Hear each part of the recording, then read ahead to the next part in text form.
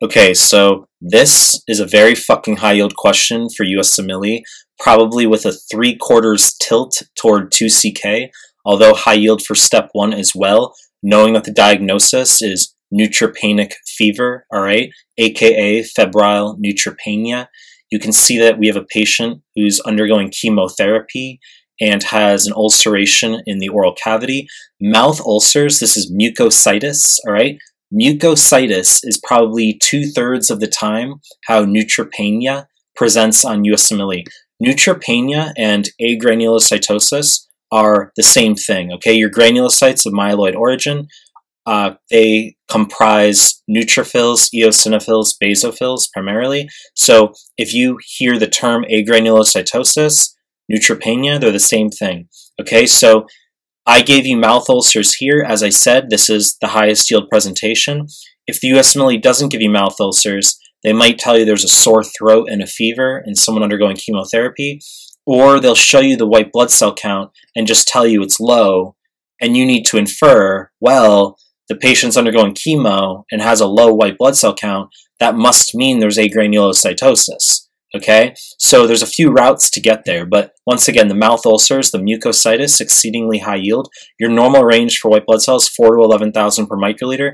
So if they were to give you EG 3500 in this setting, even if they don't mention mouth ulcers, you would need to infer that that's neutropenia. Okay, so uh, the answer is always going to be uh, immediate IV broad spectrum antibiotics. So we have uh, choice C, broad spectrum antibiotics, as our answer here.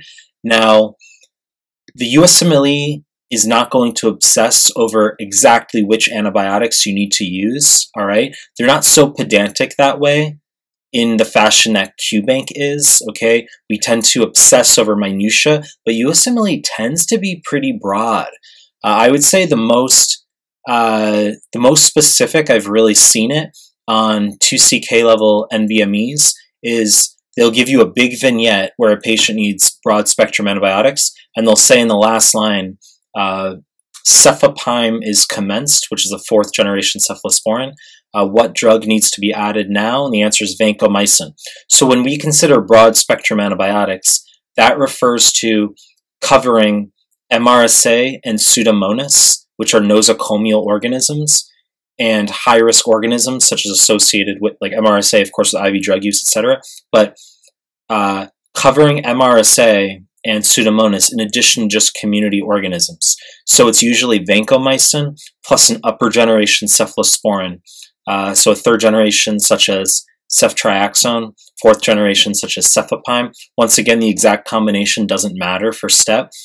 Piptaz, piperacillin tazobactam, also a favorite choice in hospital, and uh, the carbapenems like meropenem. Okay, so uh, and also aminoglycosides can be used for pseudomonas, such as tobramycin or amikacin. So you can add an aminoglycoside to vancomycin. But once again, for USMLE, they'll stay pretty broad. So uh, IV antibiotics in setting of neutropenic fever, that's going to be our answer almost always. When might it not be our answer? Only if they give you low blood pressure and tell you that fluids have not yet been given, because you need to address ABCs first, always. So I gave normal blood pressure here, so it's simply just you give antibiotics, not the fluids. If they gave you low blood pressure, didn't say anything else, just same vignette, but I gave you like 80 on 40 instead, the answer needs to be you're going to give a bolus of saline first, then you'd give the antibiotics. In truth, in real life, you could probably just fucking load the antibiotics into the saline, right? But it's always ABCs, all right? So you give saline first if you have low blood pressure.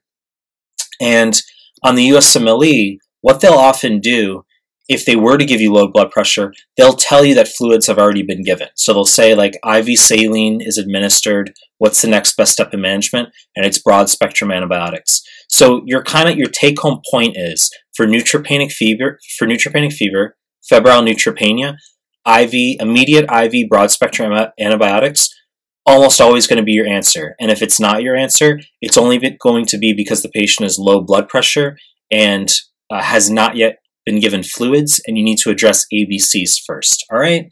So bolus of corticosteroids is just a distractor here. You could be like, hmm, not really sure what's going on. Is this autoimmune? Like something like that? It's not. I mean, if we had bullous pemphigoid, pemphigus vulgaris, uh, we can use steroids in those settings. Uh, there's there's variation of the treatment, such as are you going to do plasmapheresis for antibodies for steroids, but this isn't autoimmune. Okay, this is uh, from the chemotherapy in the setting neutropenia. You might say, but Michael, uh, why is there mucositis? Like, why do we specifically get mouth ulcers when there's agranulocytosis?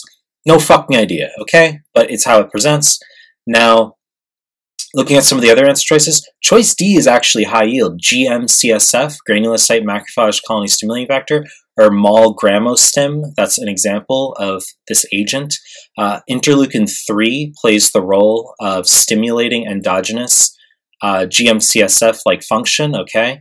So, but GM-CSF, I say, is high yield, not just to be aware that this is going to increase your granulocytes and, of course, your macrophages as well, but um, this is the answer after uh, broad spectrum antibiotics have been given and the patient's neutrophils are still low. I've never seen granulocyte transfusion as an answer on any NBME material, but I have seen GM-CSF as an answer for next best step, where the NBME question was literally to the effect of the patient has febrile neutropenia, broad spectrum antibiotics have been administered, uh, what should be given next to improve this patient's hematologic profile? And the answer is just uh, GM-CSF, okay? That's what I've seen on NBME material.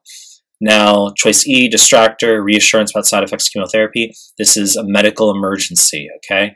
So this can also, neutropenic fever, we can see this in the setting of aplastic anemia. Classically, that's the other vignette where they can give you, e.g., a 12-year-old who's had parvovirus B19 infection gets aplastic anemia, where you have your low platelets, low RBCs and WBCs, all your cell lines are low, and there's a fever, and you're like, well, that's neutropenic fever. It's aplastic anemia, but there's still neutropenic fever because the neutrophils are low and the patient has a fever. So we give immediate IV broad spectrum antibiotics, okay?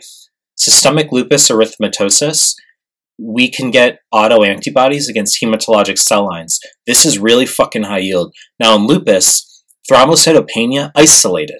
Isolated thrombocytopenia is common due to antiplatelet antibodies, but you can also get antibodies against RBCs and WBCs. And I've seen uh, an SLE question where uh, they show you all the cell lines are down. The wrong answer is decreased bone marrow production. That's aplastic anemia. The correct answer is increased peripheral destruction, which refers to antibodies against your cell lines. And if the patient had a fever, you'd say, well, that's febrile neutropenia. We have to give broad spectrum antibiotics. Okay, so that's your short summary for this question. Uh, very fucking high yield, as I mentioned. You need to walk away knowing neutropenic fever, uh, knowing that mucositis is how it often presents, and knowing that broad spectrum antibiotics are the next best step in management always, almost always. All right, that's it.